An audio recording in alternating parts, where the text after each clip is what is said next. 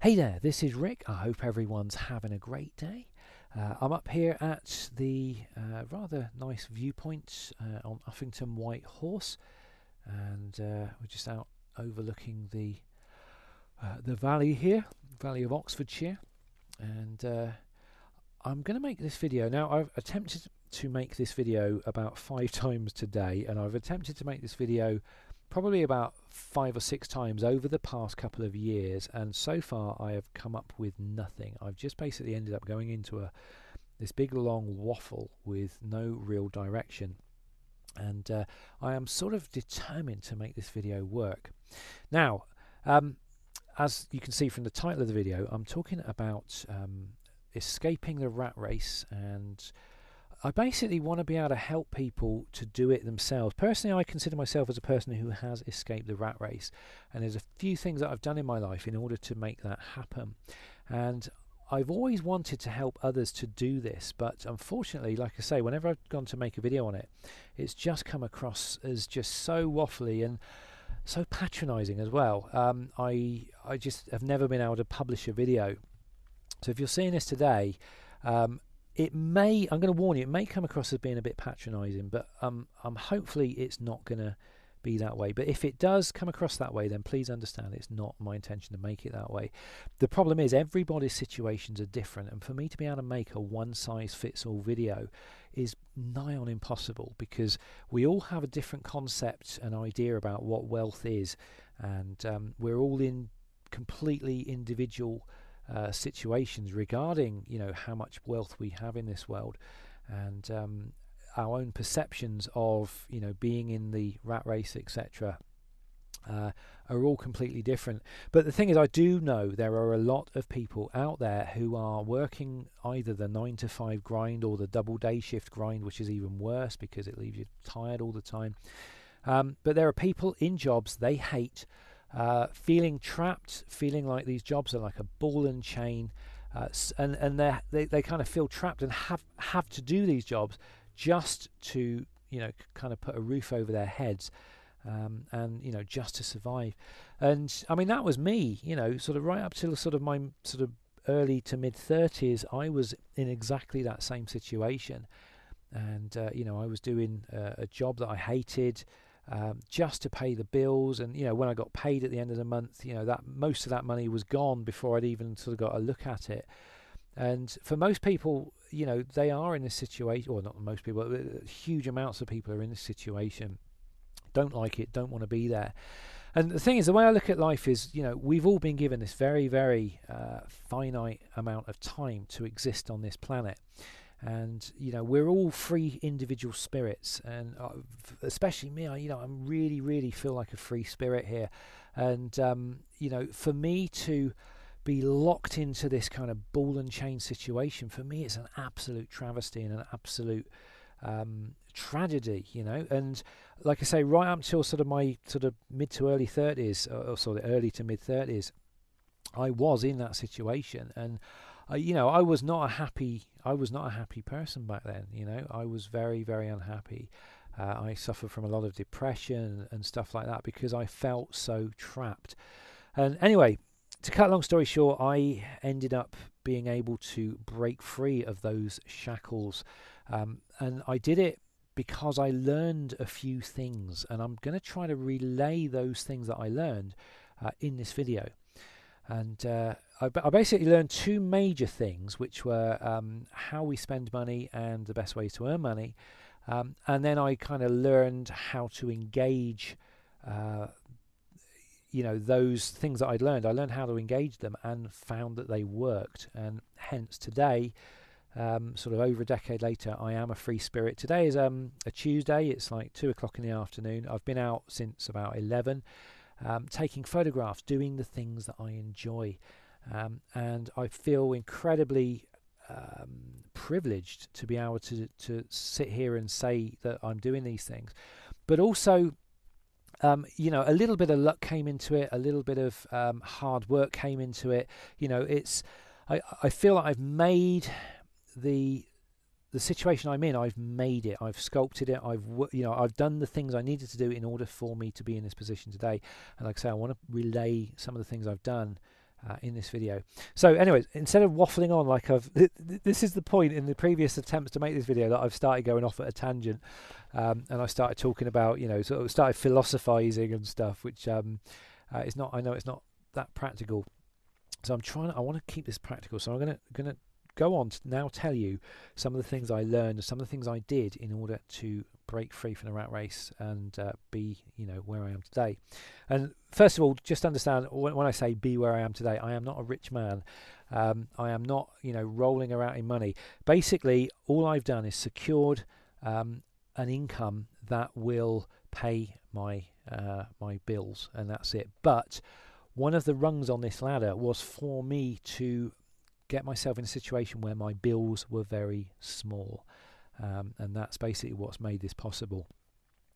So, um, anyway, let me tell you two of the things that I learned, these very, very empowering things uh, that were a part of my journey uh, into being able to break away from the rat race. The first thing was how people earn money.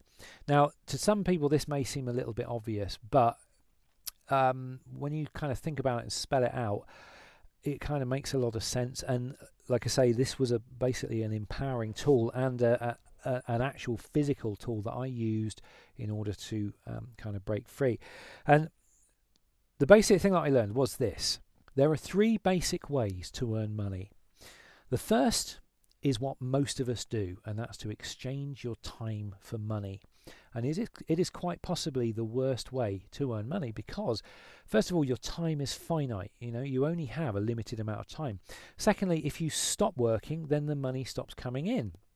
So, uh, you know, it's kind of got two huge ticks against it uh, straight away. Um, so, you know, that's a, it's a pretty the thing is, like I say, it's, it's, the way most of us earn our money, but it is the worst way to earn money. The second way to earn money, and to me, this is the best way to earn money, and this is the way I've shaped my life in order to um, to, to, to do this. Um, the second way to earn money is um, to earn a to earn an income, whether you are awake or asleep, and uh, not just one income, but what you or you may have heard this term before um, multiple streams of income. So you need to earn your money in a passive way, so it doesn't matter whether you work or whether you don't work. Um, whatever you do, I mean, basically, it involves doing something up front. Um, you know, it will be an investment in your time or whatever it is you do, but then that thing goes on to earn you a, a passive income that just continuously comes in. Um, and uh, like a good example of that is like an author of a book. You know, they will put time and effort and money up front to create that book. Um, and then as the book sells, you know, the, the book goes on selling for the rest of time, and then they will get a royalty from each sale of that book. Um, that is known as a passive income um, you know whether you're awake or asleep. And for me that's the best way to earn money. The third way to earn money of course is investments um, which again can be an extremely good way of earning money but you've got to be good at it and you've got to be educated in you know and, and sort of know what you're doing. And and even then there are still extremely high risk factors. Um, so for me that was um, a little bit of common sense really but also kind of like uh, it became the backbone of the way I kind of shaped my life from sort of learning this onwards. The second thing that I learned was how people spend money. And again, this is a very, very broad generalization and it may not apply to everybody, but as a generalization that I've applied to this kind of this this particular model, um, there are people spend money. Different people spend money in different ways. Okay, um, and I'm going to basically go with three t- three types of people: poor people, middle income people, and rich people.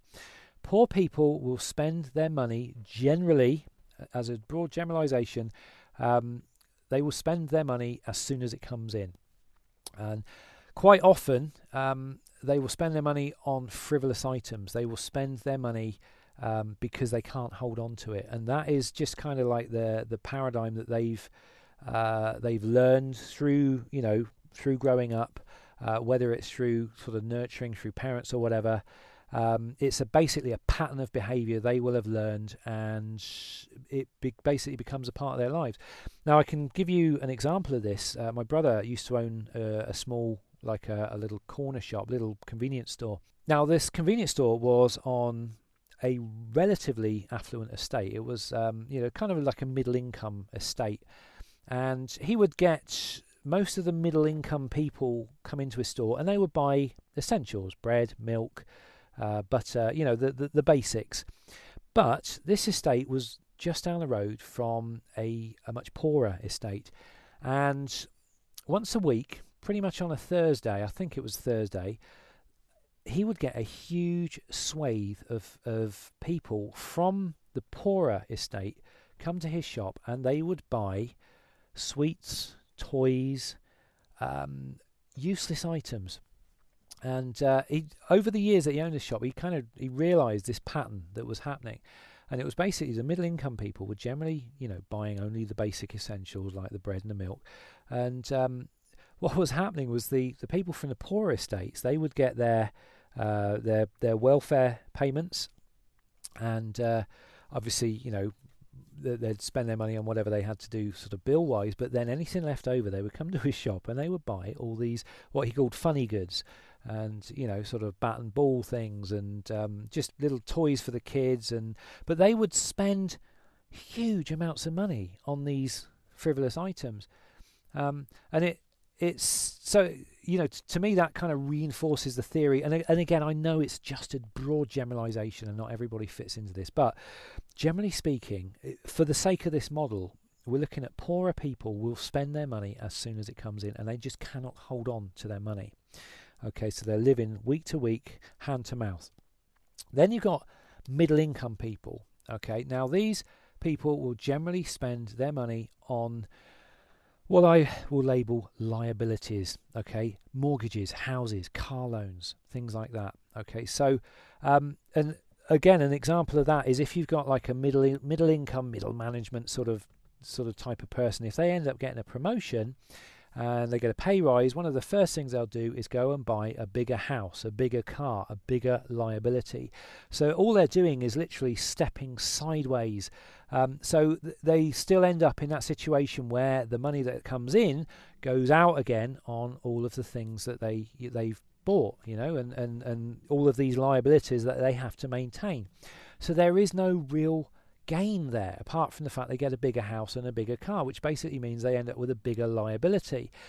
Um, and then the third thing, the third um, category is the rich people. What do rich people spend their money on? Well, most rich people, uh, or again, in in this model, in this, I know this is generalization, but in this model, rich people will spend their money on things that will provide them with an income.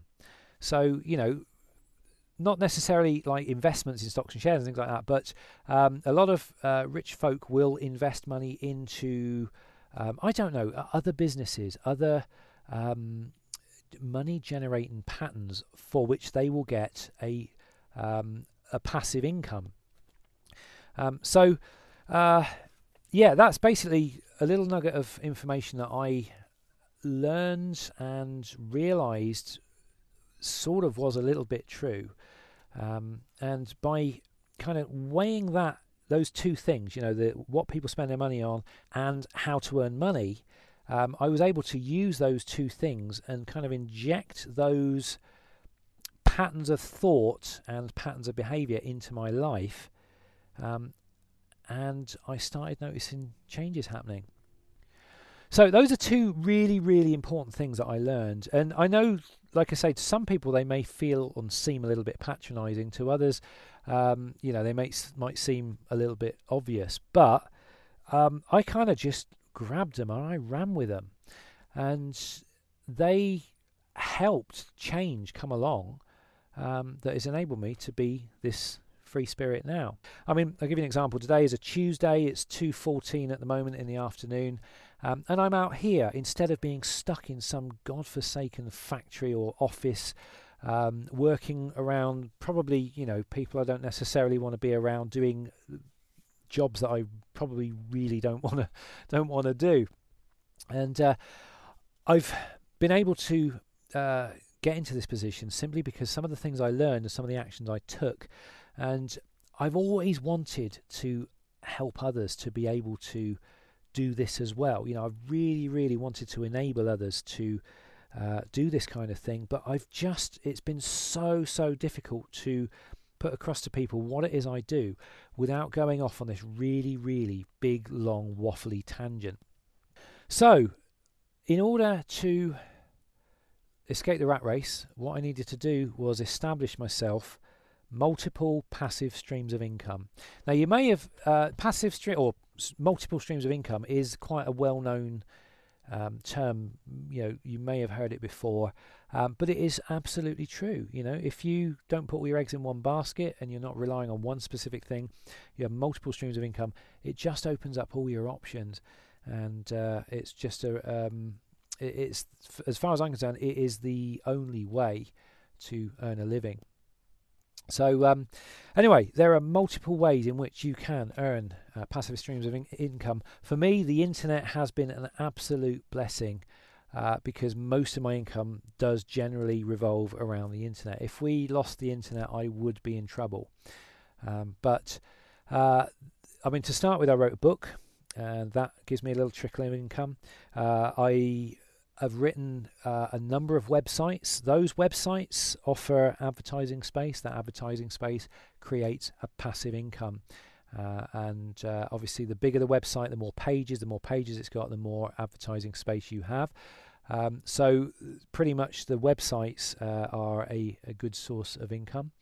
Um, and then, of course, you've got, well, when I say a good source of income, you know, let's not beat around the bush here. I'm not a rich man, but I managed to get my bills down um, small enough so that the income I get, you know, the, the, the, these multiple streams of income um, all fall into a pot at the end of the month, and that pot, in that pot, is enough to cover my uh, my bills.